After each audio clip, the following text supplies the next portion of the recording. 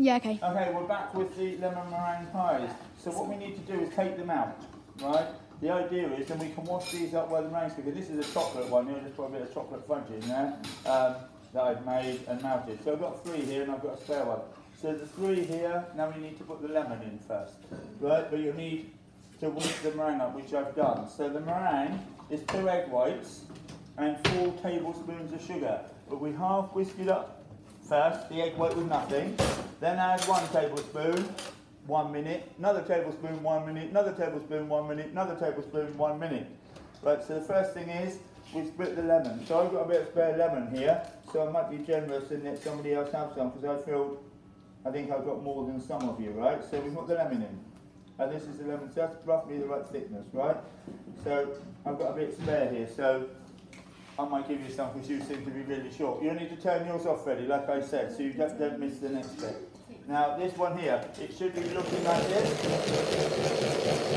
Upside, I won't turn it off, let's show you. Put it on the side there, like that, with this. This is two eggs, so that's more than you need, right? Uh, it should be done, don't do that, but as you can see, it shouldn't come out, right? You can add a little bit of water to it. Some chefs add um, corn flour, now vinegar to it if you're making pavlova, but we don't need to do that for this. We get the fluted nozzle. We turn it down so I don't get meringue over the top of the, so the meringue's only halfway down. We put it all as much as we can in here with a spoon and pinch it off with our hands, yeah? So this is only two eggs. This goes a long way, meringue.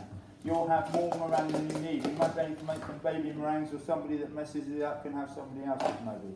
Then we do it from the outside in, outside in. This is a lot harder than it looks. Outside, in, like that.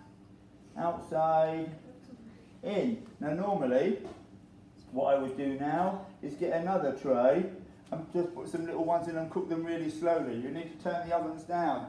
So I'm turning mine down to, I like them cooked quite slowly now. We've got plenty of time, so you can turn the ovens down and put them in the oven before baking. You've got time. I'm only doing about 120.